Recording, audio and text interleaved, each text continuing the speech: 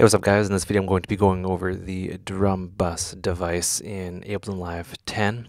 So what I have is a kick beat loop thing here. And I'm going to be affecting it. I'm going to be using drum buss in a way that I want to use it, which is a little bit uh, different. So I'm going to drag it in here and I'm going to explain what each of these sections does. So we have kind of three sections here kind of delineated by these lines here. First section we have drive and the important thing to know about drive is that if you hit uh, shift question mark if you don't have the info view already here and you hover over these and you check out the uh, different types soft is a wave shaping distortion medium is a limiting distortion and hard is a clipping distortion with bass boost so these all have their own applications and they kind of don't do what you think they do. So keep that in mind. Trim reduces the audio of the input level. So if you're getting way too much like holy crap drive, uh, bring this down and then you can uh, you know bring this up with a utility afterwards. And uh, the compressor applies to compress uh, sorry applies a fixed compressor before input distortion, which you know, you can use, but also you can just, you know, drag a compressor in beforehand. Uh, but yeah, it's nice that that's in there. You know, they, they have some pretty good thoughts. Uh, crunch. Crunch adds extra, extra distortion to the mid-high frequencies, which is pretty interesting. And uh, the dampening kind of kind of EQs that afterwards, so like it doesn't it doesn't you don't get like the hardcore fuzziness on the high end. It's, simply a, uh, a filter. And then the transients is the kind of transient shaper which is kind of also like a compressor. It's not related to the crunch and the dampening but it's in that section anyway which is interesting. So boom. What does boom do what does boom does what does boom does? What does boom do? Boom basically uh, detects uh, subfrequencies. It detects kicks and things like that using some sort of transient or envelope follower, and it will add some low end, which this track, this little loop here is an excellent example. Right, so yeah, with it kind of in, all kind of on the default, it's already a bit aggressive, which is cool. You know, you can increase the boom.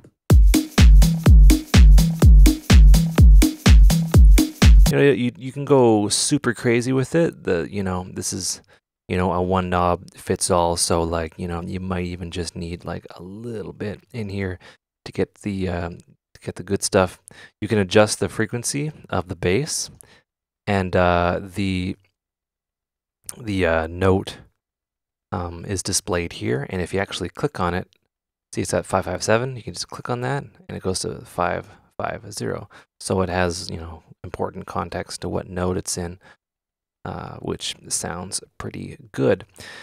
So what I want to do is I want to use the drum buss in a way that I kind of emphasize and add in more low end to this. Let's just mute this. Boring, not boring, but like, you know, kind of unbassy drum beat loop thing. So what I'm going to do is I'm actually going to hit this uh, headphone button, and this will audition the boom.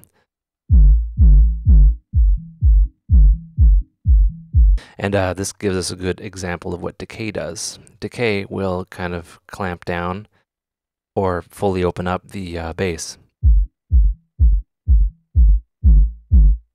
Right, this is just an example. As we increase the decay, the bass will sustain longer. Right, so let's uh,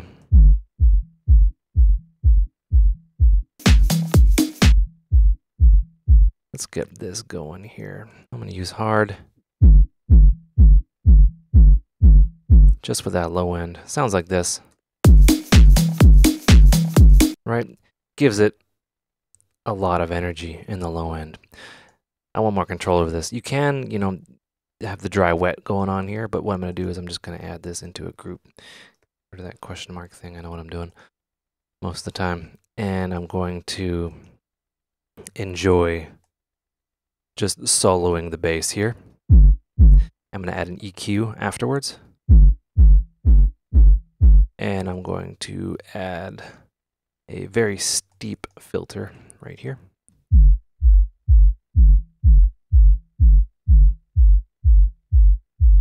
Right, so that is some low end right there, and we can compare. Right, so from here, what I'll do is I'll add a new chain, which is our dry, and then add in an EQ8 and just kind of carve out that low end a bit. Right, so we have our uh, bass here.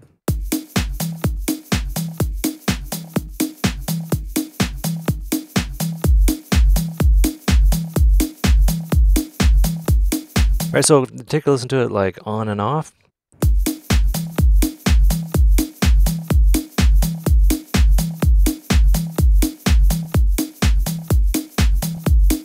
A lot of a lot of low end action going on there around the kick, and um, yeah, it's just a, a wonderful kind of tool. And yeah, you know, obviously put an EQ afterwards and shape that, do all sorts of fun stuff. Um, yeah, and that's basically it. We can also make the decay longer.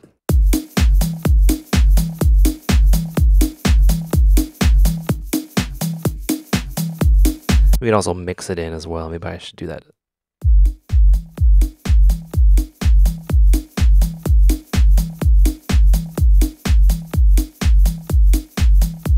Right, isn't that amazing?